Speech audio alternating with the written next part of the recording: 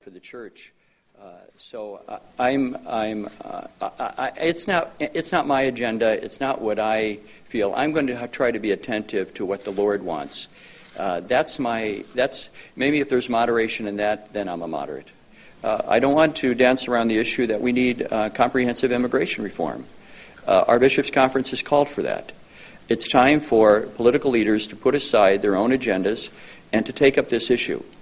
And uh, so I, I want to take this opportunity to urge that again. Um, uh, every day we delay it is a day too long, and we should move on it today. I think the Holy Father is a pastoral man. I, don't, I, don't, I think that his priority is not to send a message, but a bishop. And that's what he's sending here uh, someone to serve the needs of people. Um, so I think that um, I wouldn't want to in any way uh, overly politicize or put this in a different context. I think he cares a lot about people, and he took his time, um, and he wanted to provide a pastor. And so I think he sent a pastor, not a message.